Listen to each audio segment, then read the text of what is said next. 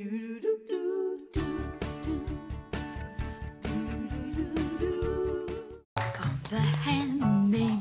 quite continental, but diamonds are a girl's Yes, and they are. With 26 days to go until Paige's and Jason's wedding, and they're going to get hitched right here on the Hallmark Channel on June the 22nd. So we're looking forward to that. Uh, today, though, we're talking about jewelry, and with us is the hottest jewelry uh, designer in the business, and Debbie Matenopoulos brought him to us. So thank you for that, Jason Arash.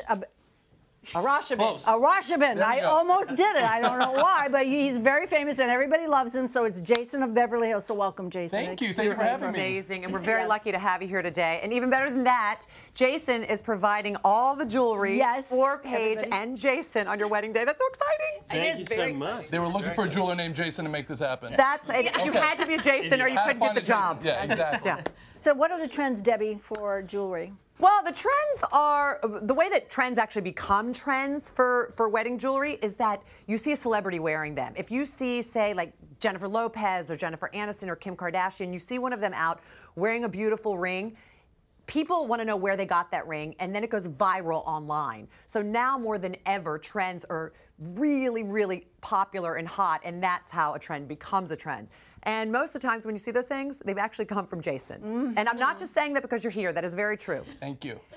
So let me ask you, what are the wedding trends for women?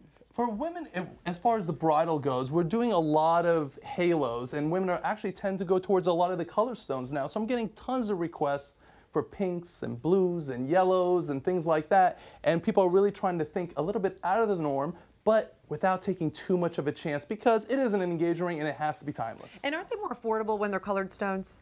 Depends on the color. Aren't So pink pinks di- and blues are way more, but you can get certain shades of yellow that actually be cheaper than a white diamond. Really? Yeah, I understand that pink diamonds are like really expensive. Yeah. Super duper Super expensive. duper, yeah. Yes. Yeah, okay. Oh. Yes. Is that the one we Yeah, I know.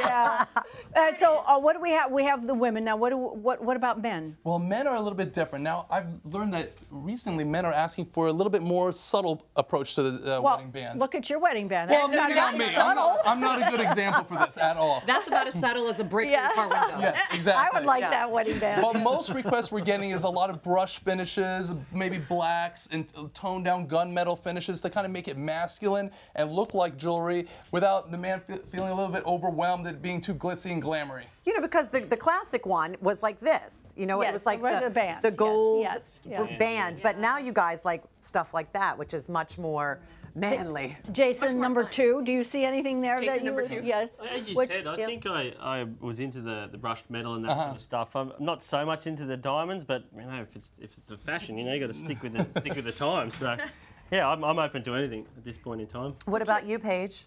Um, gosh, these are gorgeous. But I already have my engagement ring. Thank you, this Jason, very much for that.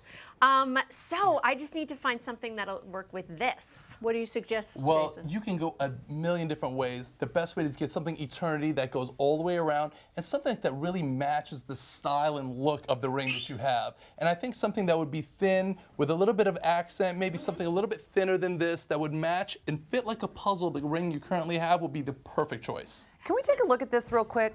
Because this is one of the trends too, where you actually have a ring built around the diamond Absolutely. ring. Here, and I'll show you. Okay, I'm going to take this so you can see it, Schwartzy. Okay, I'm taking this. There you go. So what we're getting a lot of requests for are wedding bands that don't leave that unusual gap you have between your wedding band and your engagement ring. So we build them like a puzzle so that they fit perfectly and flush, and then that way you don't see that that gap and it looks like one big ring when it's all put together. Right. Right.